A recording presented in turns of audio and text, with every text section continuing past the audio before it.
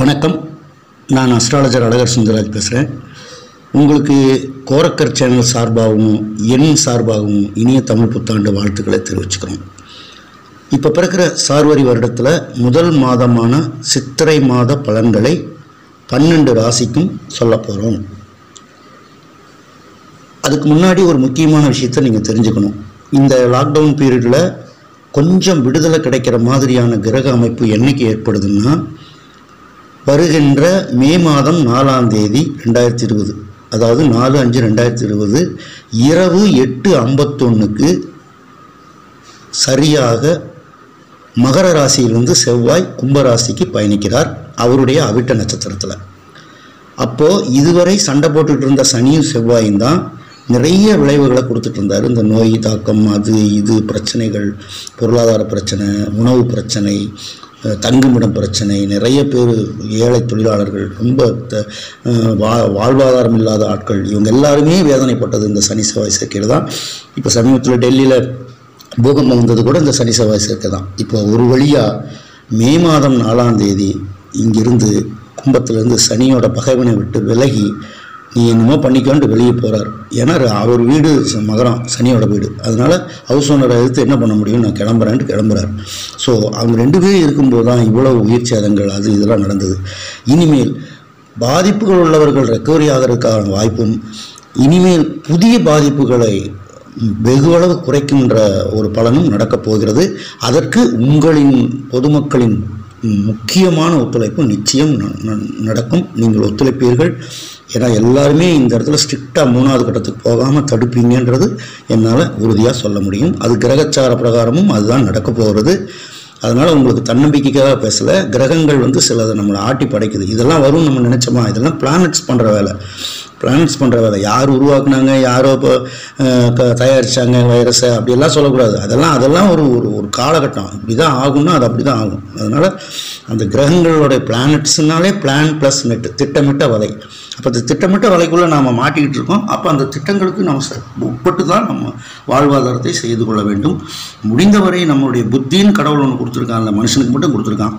மற்ற மிருகங்களுக்கு அந்த ஆறு அறிவு கொடுக்கல. அதனால் நாம் வந்து எந்தளவுக்கு அதை உள்ளே வாங்கிக்கிட்டு கான்ஸ்டண்ட்டாக நம்ம மைண்டில் வச்சுக்கிட்டு அதை வந்து கரெக்டாக கான்ஃபிடண்ட்டாக நிறைவேற்றினீங்கன்னா இந்த கொரோனாவிலிருந்து இனி ஒரு பாதிப்புகள் ஏற்பட வாய்ப்பில்லாமல் செய்துவிடலாம் பர்டிகுலர்லி நாலு அஞ்சு ரெண்டாயிரத்தி இருபதுக்கு அப்புறம் உண்மையிலுமே எல்லாருடைய உலக மக்களுடைய ஒத்துழைப்பு ரொம்ப பிரமாதமாக இருக்க போகுது. அதை செய்ய போகிறது சாட்சாத் செவ்வாய் பகவான். ஓகேங்களா? அடுத்து வந்து இப்போ முதல் ராசிக்கு நான் வர இந்த சித்திரை மாத பலன் மட்டும் சொல்கிறேன் ஏன்னா புது வருஷ பலன் ஆல்ரெடி நம்ம சேனலில் சொல்லியாச்சு என்னுடைய ப்ரிடிக்ஷனில் இப்போ என்னுடைய அதே ப்ரிடிக்ஷனில் சித்திரை மாத பலன்கள் அதாவது ஒரு ஒரு மாத பலன்களை நான் ஒவ்வொரு மாதமும் சொல்ல போகிறேன் இப்போ இந்த சித்திரை மாதம் பன்னெண்டு ராசிக்கு என்ன செய்ய போகிறது அப்படிங்கிறத கேட்டுக்கோங்க. காலபுருஷ தத்துவப்படி முதல் ராசி மேஷம். இவர்களுக்கு சூரியன் உச்சமாவதன் மூலம் அரசாங்கத்தால் அனுகூலம் புதிய புதிய திட்டங்கள் புத்திரர் வழியே பல நற்பலன்கள் போன்றவை ஏற்படும். நீண்ட நாள் திட்டம் எதுவாக இருந்தாலும் அவை இந்த மாதத்தில் உங்களுக்கு சிறப்பாக நிறைவேறும். உடல் நலம் நல்ல ஆரோக்கியத்துடன் பலப்படும் உத்தியோக குழப்பம் கொஞ்சம் உண்டுதான். அதாவது நீங்கள் வேலைக்கு போகாமல் இருக்கிறது கொரோனா காரணன்றதை விட கிரகங்கள் காரணம். வேலைக்கு போக முடியாததுக்கும் வேலையை செய்ய முடியாததுக்கும் சிலர் இந்த கொரோனாலையும் வேலைக்கு போகிறாங்க அதுக்கும் அவங்க கிரகம் தான் காரணம். அவங்க ஜாதகம் தான் காரணம். அது மாதிரி மேசராசிக்கு பத்தாம் இடத்துல சனி செவ்வாய் சேர்க்கை பெற்று குருவும் நீசமடைந்து அங்கே நிற்பதனால ஒரு முடிவெடுக்க முடியாத உத்தியோக குழப்பம் உங்களுக்கு அடிக்கடி ஏற்படும். ஆனால் அதில் சில நல்ல பலன்கள் இந்த சித்திரை மாதத்தில் உங்கள் மனக்கண்ணில் தோணும். அந்த தோணும்போது உங்களுக்கு வந்து இதுதான் நமக்கு கரெக்டான சாய்ஸ்னு முடிவு கிடைக்கும்.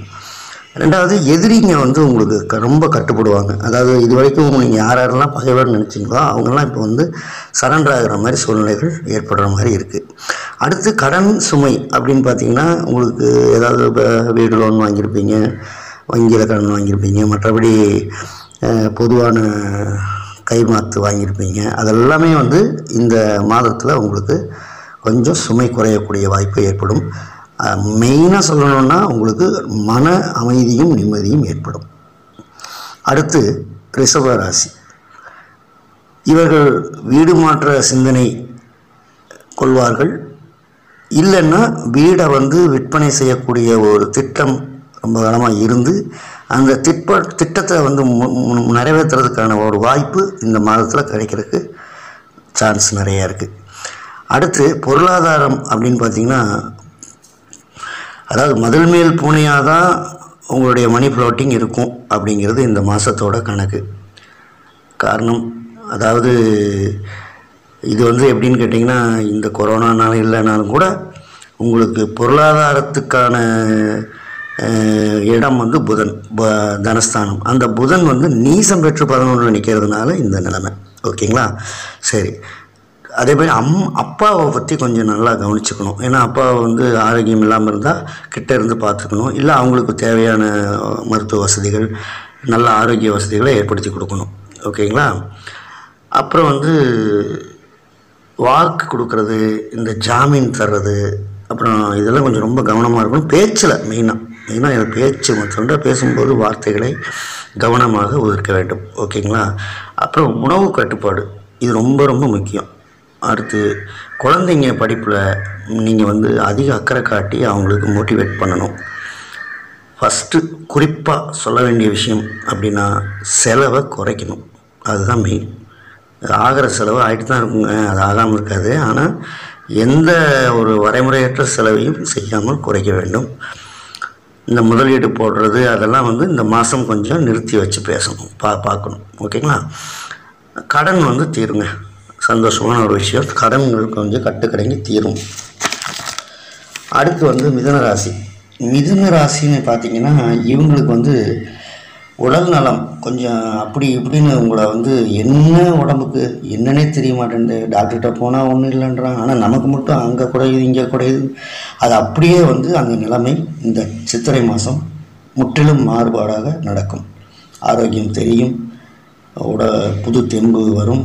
அதெல்லாம் உங்களுக்கு ஏன்னா பதினொன்றில் இருக்கிற சூரியன் உச்சமடைஞ்சதுனால உங்களுக்கு ஆரோக்கிய குறைபாடு நீங்கும்.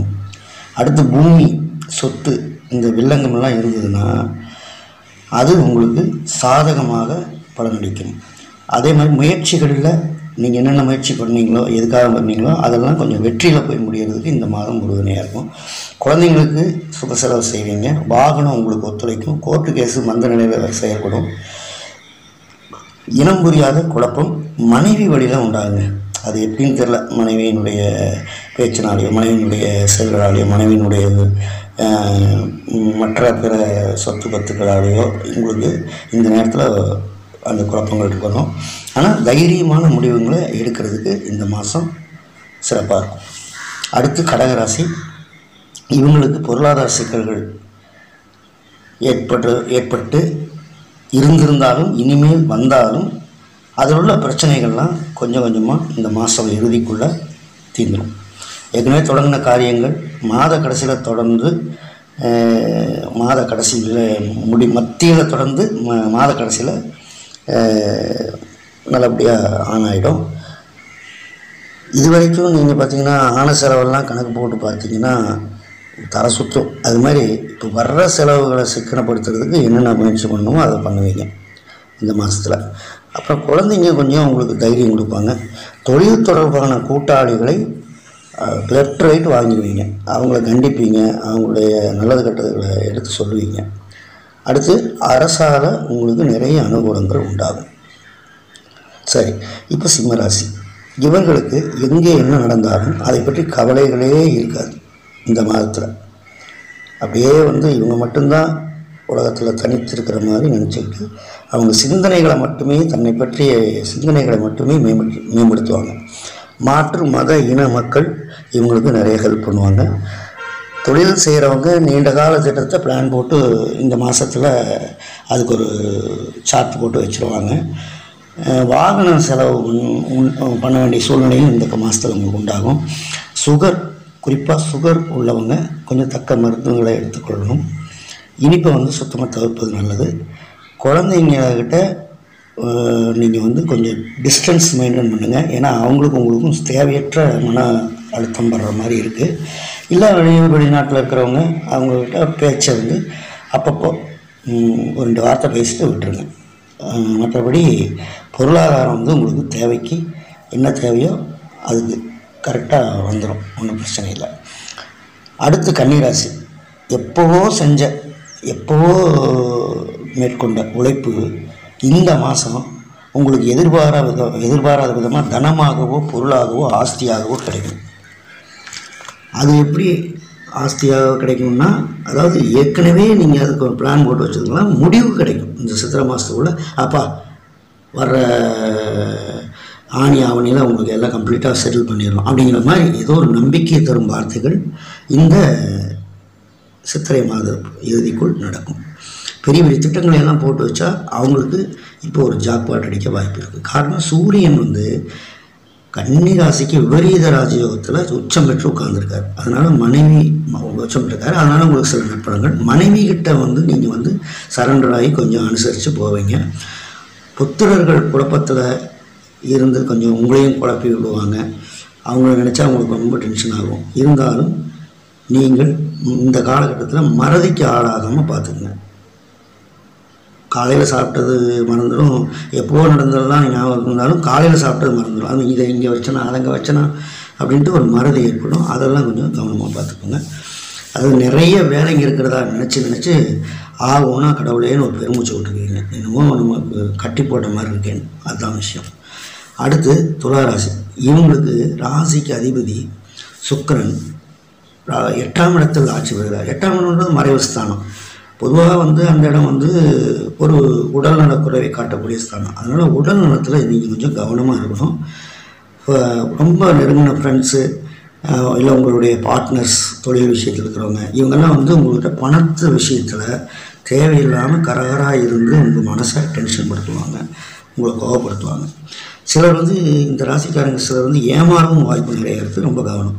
இந்த மாதம் உஷ்ண சம்பந்தமான உபாதைகள் இருக்கும். அது மெயினாக மதுப்பிரியர்கள் கொஞ்சம் கவனமாக இருக்கணும். தாய் வழியில் உடல்நலம் சிகிச்சை மூலம் குணமாகும். வீடு வாகனம் பராமரிப்பு அப்படியே கிடப்பில் போட்டு வச்சிருங்க. நாலு அஞ்சு ரெண்டாயிரத்தி இருபதுக்கு அப்புறமா அவைகளால் உங்களுக்கு நன்மை ஏற்படும். பட்டப்படிப்பு படிக்கிறவங்க பயத்தோடு படிக்கணும். இல்லைன்னா அரியர்ஸ் வந்துடும் பொருளாதாரம் இந்த மாதம் பொருளாதாரம் இந்த மாதம் வரவும் செலவும் கைக்கு வாய்க்குமா? சரியாக தான் இருக்கும். தகப்பனார் இறங்கி வந்து பேசுவார். இல்லைன்னா அவர் தப்பு இருந்தால் அவர் வந்து ம உங்கள்கிட்ட மன்னிப்பு கூட தயங்க மாட்டார். அது ஒன்று ரெண்டாவது நீங்கள் குழந்தைங்கள ரொம்ப செல்லம் கொடுக்காம கண்டித்து வளர்க்கணும். அடுத்து விருச்சிக ராசி. இவங்களுக்கு என்னென்னா எடுக்கிற முயற்சிகள் எல்லாமே கிணத்துல போட்ட கல்லாகவே இருக்குது. கடந்த ஆறு மாதங்களாக சனி பயிற்சின்னு சொன்ன போதுலேருந்தே அப்படி தான் இருக்குது.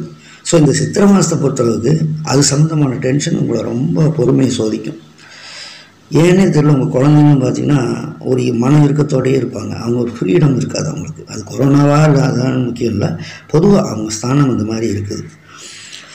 அடுத்து ஆரோக்கியம் வந்து கொஞ்சம் நல்லாயிருக்கும் உங்கள் உடம்பை பொறுத்தளவுக்கு சரியாகும். சகோதரர்கிட்ட கொஞ்சம் எச்சரிக்கையாக இருங்க. கொஞ்சம் பகைகள் கொஞ்சம் முற்றக்கூடிய வாய்ப்பு இருக்குது இதெல்லாம் வந்து எல்லாமே சேர்ந்து நாலு அஞ்சு ரெண்டாயிரத்தி இருபதுக்கு அப்புறமா செவ்வாய் வந்து கும்பத்துக்கு மாறும் பொழுது இதுக்கெல்லாம் ஒரு தீர்வு கிடச்சிடும் அதனால் சித்திரை மாதம் எதையும் காதில் போடாமல் எதையும் மனசில் தேக்காமல் நீங்கள் பாட்டு கம்னு ஒரு மௌன விரதம் இருந்த மாதிரி உட்காந்துட்டு இருந்தீங்கனாலே இந்த மாத கடைசிக்குள்ளே நல்ல செய்தி உங்கள் காதுக்கு வரும் சார்.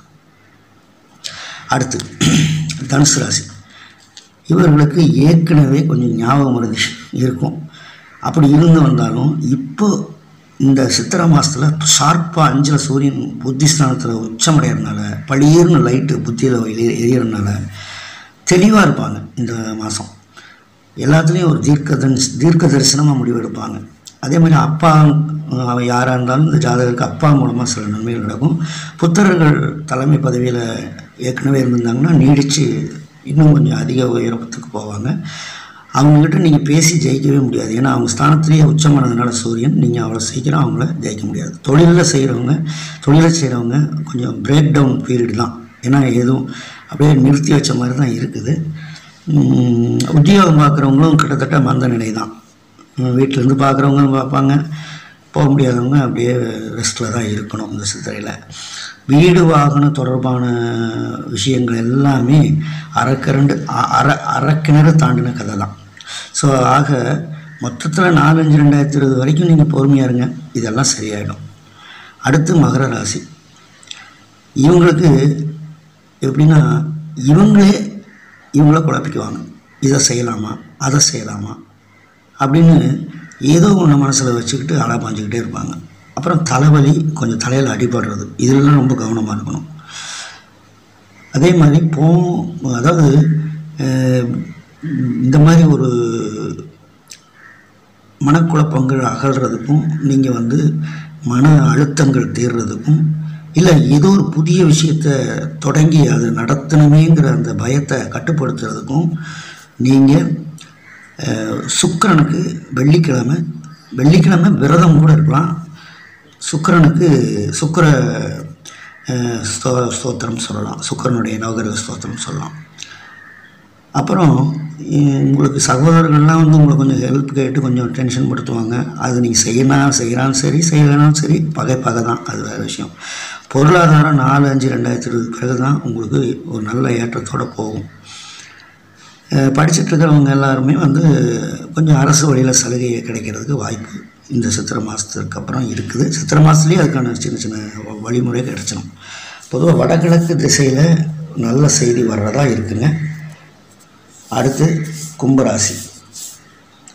இவங்களுக்கு அசாத்திய தைரியம். என்னதான் அப்படி தைரியம்னு தெரில இந்த சித்திரை மாதம் முழுக்க அவங்களுக்கு வந்து ராசிக்கு மூணாம் இடத்துல சூரியன் உச்சமடைஞ்சு எதையும் வரட்டும் பார்த்துக்கலான்ற தைரியம் வந்துடும் அதே மாதிரி நாளில் சுக்கிரன் ஆட்சியாக இருக்கிறதுனால தன் புத்தியையும் தன்னோட வினயத்தையும் தன்னுடைய வித்தையும் கரெக்டாக பயன்படுத்தி கிடைக்கிற வாய்ப்புகளை சரியாக ப அதை பயன்படக்கூடிய அளவுக்கு நடந்துக்குவாங்க.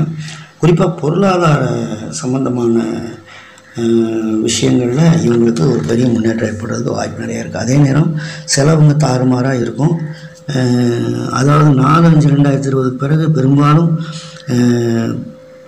பணம் வர்றதுக்கான வாய்ப்புகள் வந்து ஹண்ட்ரட் பர்சன்ட் ரெடியாக இருக்குது அது வந்து பார்த்திங்கன்னா அடுத்த பதினேழு அஞ்சு வரைக்கும் அந்த வாய்ப்பு இருக்குது. அதுக்குள்ளே ஏதாவது ஒரு ஜாக்பாட் அடிக்கிறதுக்கு உங்களுக்கு நீங்கள் ஏற்கனவே முயற்சி பண்ண காரியங்கள் நடக்கிறதுக்கு நிறைய சான்சஸ் இருக்குது சந்தேகம் வந்து தேவையில்லாமல் வரும். யார் மேலேயாவது எதுக்கு தேவையில்லாமல் வருதுன்னு அவங்களுக்கே தெரியாது. அடிக்கடி வந்து மாறும். அதே மாதிரி இது இன்னொன்று இருக்குது அது யாருக்கிட்ட இருந்து நமக்கு இந்த ஆப்பர்ச்சுனிட்டி வரும்? யாருக்கிட்ட இருந்து இந்த பணம் வரும்? அப்படிங்கிற ஒரு மனக்கணக்கு டுவெண்ட்டி ஃபோர் ஹவர்ஸ் காலையில் எந்திரிச்சிருந்து அதுதான் யோசிச்சுக்கிட்டே இருப்பீங்க. இந்த மாதம் முழுக்கமே இப்படி தான் நகருங்க. மாதத்தோட கடைசியில் நிச்சயமாக பொருளாதார நிவர்த்தி உண்டு. சரி அடுத்து மீனராசி இவங்களுக்கு வாங்கின கடனை அடைக்கிறதா? இல்லை புது கடன் வாங்குறதா? அப்படிங்கிற ஒரு குழப்பமே இந்த மாதம் முழுக்க சிந்திக்கிறதுக்கு சரியாக இருக்கும். அதாவது நீங்கள் வந்து மெயினாக காரமான உணவுகளை தவிர்க்கணும். அப்புறம் அந்த நரம்பு தொடர்பான பிரச்சனைகள் வந்து உங்கள் உடம்புல அப்பப்போ இம்சை பண்ணிக்கிட்டு இருக்கும். ஒரு சில ராசி ஒரு சில இந்த ராசிக்காரங்களுக்கு காதில் நல்ல நல்ல செய்திகள் கேட்கக்கூடிய வாய்ப்பு சுப செய்திகள் அந்த மாதிரி கேட்க வாய்ப்பெல்லாம் இருக்கும். அது உறவினர் மூலமாக நண்பர் மூலமாக தொழில் செய்கிற இடத்துலையோ. அப்புறம் புத்தர்களுடைய வேலை விஷயமா ஒரு சேஞ்சஸ் வரும். அதாவது ஒன்று இடம் மாற்றமோ இல்லை பதவி உயர்வோ இல்லை சம்பள உயர்வோ வர்றதுக்கு வாய்ப்பு அதிகமாக இருக்குது கணவர் வந்து பேசாமல் வாய் மூடி மௌனமாக இருக்கிறதே பெட்டர் அவர் அப்படி தான் இருப்பார் இந்த மாதம் முழுக்க.